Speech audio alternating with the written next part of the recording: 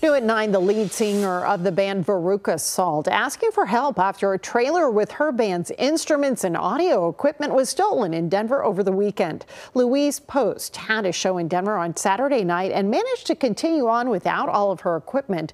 She spoke with Fox 31's Rogelio Mares, who is on it in studio all new at 9. Yeah, Kim, this is the first time Post says she's been on tour in six years as a member of the popular band Veruca Salt. She's been to Denver before. Now she's on tour promoting a new album and became the victim of theft.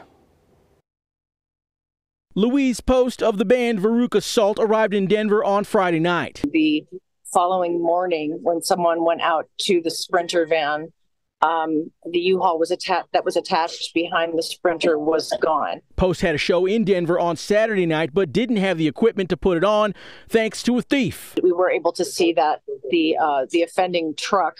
Uh, that thieves uh, arrived at 4 a.m. It's the first time she's toured in six years, and the stop in Denver set it back a bit. Currently, I'm supporting my solo record, Sleepwalker and I have a band with me. We have a crew, a small crew. We are a, a, modest operation. That modest operation was greatly impacted by whoever stole her equipment. There's much custom gear involved, treasured um, instruments. Beyond that, ex- extensive audio gear, amplifiers, guitars. Uh, consoles. Ever the professional and servant to her fans, Post made the show go on Saturday night. By renting gear, which is another expense by borrowing gear from um, our support band from other people who are well-meaning and and understand what it means for this to happen. She credits the connection she has with her fans, inspiring her to keep playing on. Despite what happened to you, will you come back and perform at some point in the future?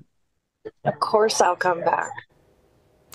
Now, Post says uh, Denver police is investigating. She says she's offering a reward for any information leading to the recovery of the instruments and the audio equipment. Anyone with information is asked to call Denver police. In studio, Rogelio Mares, Fox 31.